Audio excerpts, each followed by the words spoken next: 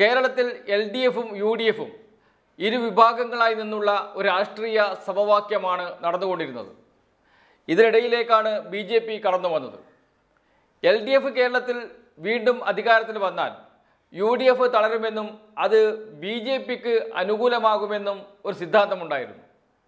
പക്ഷേ കേരളത്തിൽ അത് നടക്കുന്നില്ല എന്നതാണ് ഏറ്റവും സമീപകാല സംഭവങ്ങൾ തെളിയിക്കുന്നത്. ബി ജെ പി കേരളത്തിൽ വളരില്ല എന്ന കാര്യം ഉറപ്പാണ്. നിയമസഭാ തെരഞ്ഞെടുപ്പോടുകൂടി ബി ജെ പിയുടെ കഷ്ടകാലം ആരംഭിച്ചു തുടങ്ങി. ബി ജെ പിയുടെ ഏക സീറ്റ് നഷ്ടപ്പെട്ടു. ബി ജെ പിയുടെ വോട്ട് വിഹിതത്തിലും വൻ കുറവ് വന്നു. പതിനെട്ട് ശതമാനത്തിൽ നിന്ന് പന്ത്രണ്ട് ശതമാനത്തിലേക്കാണ് ബി ജെ പിയുടെ വോട്ട് വിഹിതം താഴ്ന്നത്. ദേശീയാടിസ്ഥാനത്തിൽ ബി ജെ പി ഒരു തകർച്ചയുടെ പാതയിലാണ്. ദേശീയ മാധ്യമങ്ങൾ അക്കാര്യം റിപ്പോർട്ട് ചെയ്യുന്നുണ്ട്. അതുകൊണ്ട് തന്നെ കേരളത്തിൽ ബി ജെ പിയുടെ ഒരു ഉയർത്തെഴുന്നേൽപ്പ് സാധ്യമാകുമെന്ന് ആരും വിശ്വസിക്കുന്നില്ല സാധ്യമാകില്ല എന്ന കാര്യത്തിൽ യാതൊരു സംശയമില്ല ആർ എസ് എസ് പോലും അത് വിശ്വസിക്കുന്നില്ല.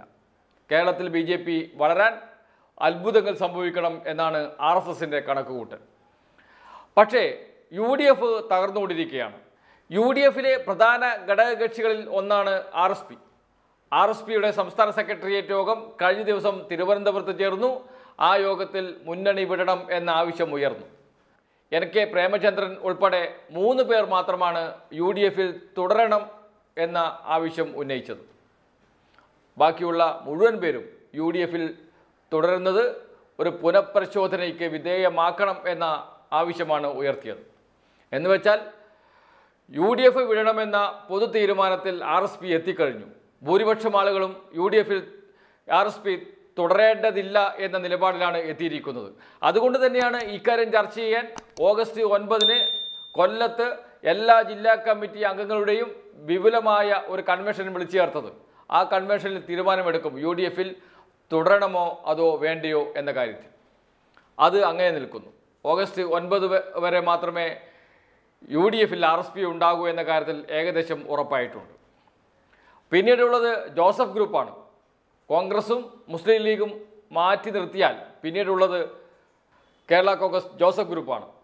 കേരള കോൺഗ്രസ് ജോസഫ് ഗ്രൂപ്പ് മധ്യ കേരളത്തിൽ സ്വാധീനമുണ്ട് എന്നും അങ്ങനെ മധ്യ കേരളത്തിൽ ജോസഫ് ഗ്രൂപ്പിനെ മുന്നോട്ട് വെച്ച് കോൺഗ്രസിന് തന്റെ പഴയ പ്രതാപം നിലനിർത്താൻ കഴിയുമെന്നുമാണ് വിശ്വസിച്ചത്. അങ്ങനെ ഒരു ധാരണ നേരത്തെ പറഞ്ഞിരുന്നു അതുമാത്രമല്ല കോൺഗ്രസിനോട് ആഭിമുഖ്യമുള്ളവരാണ് പഴയ കേരള കോൺഗ്രസ് മാണി ഗ്രൂപ്പിലെ കേരള കോൺഗ്രസ് നേതാക്കൾ. കേരള കോൺഗ്രസ് മാണി ഗ്രൂപ്പിലെ ജോസ് കെ മാണിയുടെ ആധിപത്യത്തിൽ പ്രതിഷേധിച്ച് പാർട്ടി വിട്ടുപോയ ഒരുപാട് നേതാക്കളുണ്ട്. അവരെല്ലാം ചെന്നെത്തിയത് ജോസഫ് ഗ്രൂപ്പിലാണ്. ജോസഫ് ഗ്രൂപ്പിൽ അവർക്ക് ആവശ്യമായ പ്രാതിനിധ്യം കിട്ടിയില്ല എന്ന ആക്ഷേപം അവർക്കുണ്ട്. ആവശ്യമായ പരിഗണന കിട്ടിയില്ല എന്ന നിലപാടാണ് പല കേരള കോൺഗ്രസ് നേതാക്കൾക്കുമുള്ളത്. ജോസ് വിഭാഗം വിട്ട് ജോസഫ് വിഭാഗത്തിൽ പോയവർക്ക്. അതുകൊണ്ട് തന്നെ അവർ അവിടെ അസംതൃപ്തരാണ്. ആ അസംതൃപ്തരായവരെ തിരിച്ചു പിടിക്കാനുള്ള ശ്രമം ജോസ് കെ മാണി ആരംഭിച്ചു കഴിഞ്ഞു. അവരുമായി ചർച്ചകൾ നടത്തിക്കൊണ്ടിരിക്കുകയാണ്. ചർച്ചകൾ നടന്നുകൊണ്ടിരിക്കുകയാണ് എന്ന് കേരള കോൺഗ്രസ് ജോസഫ് വിഭാഗത്തിന്റെ working chairman P C Thomas തന്നെ പരസ്യമായി പറഞ്ഞു കഴിഞ്ഞു. എന്ന് വെച്ചാൽ ജോസഫ് വിഭാഗത്തിൽ നിന്ന് വലിയൊരു ഒഴുക്ക് കേരള കോൺഗ്രസ് മാണി ഗ്രൂപ്പിലേക്ക് ഉണ്ടാകുമെന്ന കാര്യത്തിൽ സംശയമില്ല. അതിന്റെ നീക്കങ്ങൾ ആരംഭിച്ചു കഴിഞ്ഞു. എന്ന് വെച്ചാൽ ജോസഫ് ഗ്രൂപ്പ് ദുർബലമാകും കൂടുതൽ കൂടുതൽ ദുർബലമാകും. അത് യു ഡി എഫിനെ സാരമായി ബാധിക്കുകയും ചെയ്യും. കഴിഞ്ഞ നിയമസഭാ തെരഞ്ഞെടുപ്പിൽ എറണാകുളം ജില്ലയിൽ മാത്രമാണ് യു ഡി എഫ് ഒന്ന് നിലം തൊട്ടത് അവിടെയും കൂടി അവരുടെ സ്വാധീനം നഷ്ടപ്പെടുന്ന അവസ്ഥയിലേക്കാണ് കാര്യങ്ങൾ പോകുന്നത്. എന്ന് വെച്ചാൽ മാണി ഗ്രൂപ്പ് ശക്തമായി കൊണ്ടിരിക്കുന്നു എന്നർത്ഥം. അങ്ങനെ വന്നാൽ മധ്യ കേരളത്തിൽ യു ഡി എഫ് തകരും എൽ ഡി എഫ് കൂടുതൽ ശക്തിപ്പെടും. അതുമാത്രമല്ല മധ്യ കേരളത്തിൽ അല്പസ്വല്പം സ്വാധീനമുള്ളവരാണ് ജനാധിപത്യ കേരള കോൺഗ്രസ്.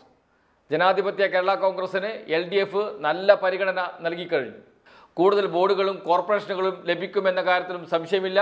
അങ്ങനെയാണെങ്കിൽ ജനാധിപത്യ കേരള കോൺഗ്രസ് വിട്ടുപോയ ഫ്രാൻസിസ് ജോർജ് ഉൾപ്പെടെയുള്ളവരെ തിരിച്ച് ജനാധിപത്യ കേരള കോൺഗ്രസിലേക്ക് കൊണ്ടുവരുവാനുള്ള ശ്രമം ആരംഭിച്ചു കഴിഞ്ഞു. ഒരു ഭാഗത്തുനിന്ന് ആർ എസ് പി മുന്നണി വിടുന്നു മറുഭാഗത്ത് കേരള കോൺഗ്രസ് ജോസഫ് ഗ്രൂപ്പിൽ നിന്ന് വലിയ ഒഴുക്ക് കേരള കോൺഗ്രസ് മാണി ഗ്രൂപ്പിലേക്ക് ഉണ്ടാകുന്നു. ജനാധിപത്യ കേരള കോൺഗ്രസ് ശക്തിപ്പെടുന്നു. തുടങ്ങിയ നീക്കങ്ങൾ യു ഡി എഫിനെ കൂടുതൽ കൂടുതൽ ദുർബലമാക്കുകയും എൽ ഡി എഫ് ശക്തിപ്പെടുകയും ചെയ്യും എന്ന കാര്യത്തിൽ സംശയമില്ല. ഏതായാലും ഇത്തരം രാഷ്ട്രീയ നീക്കങ്ങൾക്ക് സി പി ഐ എമ്മും എൽ ഡി എഫും പച്ചക്കൊടി കാണിച്ചിരിക്കുന്നു എന്നതാണ് ഏറ്റവും വലിയ വാർത്ത.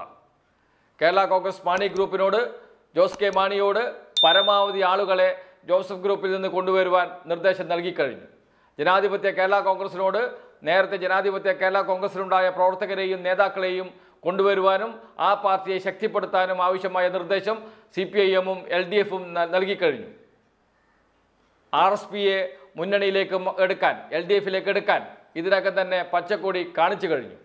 അങ്ങനെയാണെങ്കിൽ അടുത്ത ലോകസഭാ തെരഞ്ഞെടുപ്പിന് മുമ്പ് കേരളത്തിന്റെ രാഷ്ട്രീയം മാറി മറിയും Thank you.